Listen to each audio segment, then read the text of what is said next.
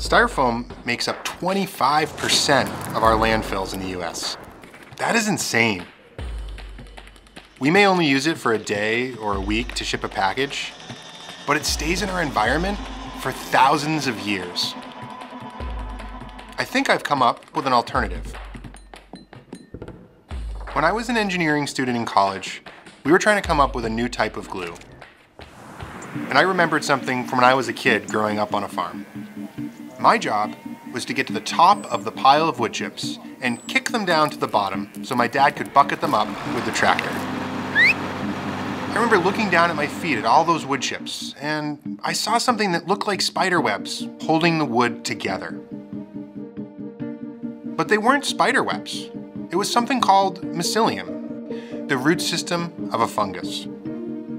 Every time I look to nature, I see a complex system that we can learn from. Why not use the technology that nature has already developed over millions of years? We could use this natural glue for the basis of a new packaging material to replace styrofoam. First, we add mycelium to ground up waste like wood chips or corn husks.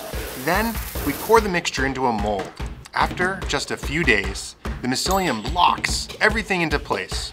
It doesn't require energy to make, and there's no leftover waste. We can mold it into any shape. It holds its form, and it's lightweight. That's what makes mycelium technology a good alternative to styrofoam. After you're done with it, you can throw it into the lake and it's fish food. You can throw it into your garden and grow healthy plants. The most important thing is, our packaging fits into Earth's recycling system.